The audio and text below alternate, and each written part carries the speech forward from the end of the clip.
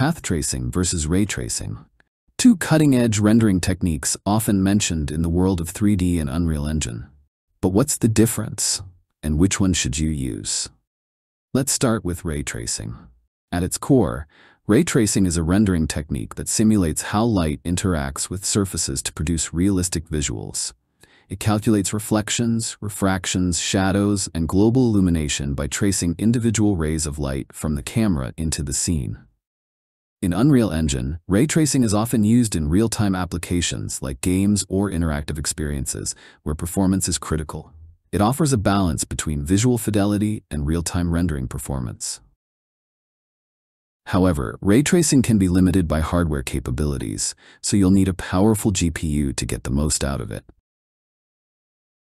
Path tracing, on the other hand, is like ray tracing, but on steroids.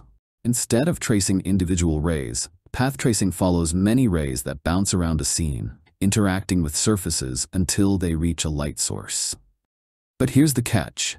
Path tracing is computationally expensive.